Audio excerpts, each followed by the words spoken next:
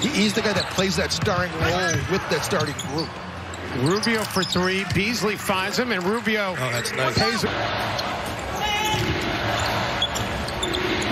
Rubio whips it inside. McDaniels with the stuff. Excellent pass out that time by Towns, Dave. The double team came. They're coming to trap Karl.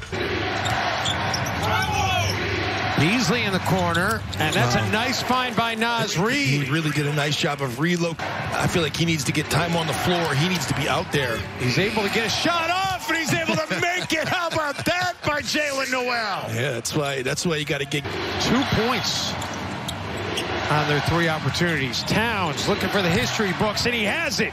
Karl-Anthony Towns, your all-time Minnesota Timberwolves three-point makes leader. Well, I'll have to I'll have to take a look back at that because Keon Clark I remember a little bit, but I don't have a vivid.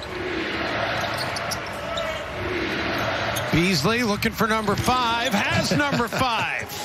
It's amazing. It just is. It's just fourth game. Ricky had 17 in that game. Beasley and Malik.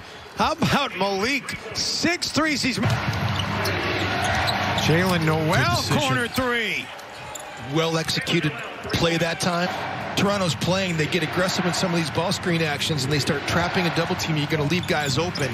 Rubio trying to find Vanderbilt, and Vanderbilt they now. So one more and his night is over. Rubio able to get Baynes to fly by, and then Ricky drills the triple.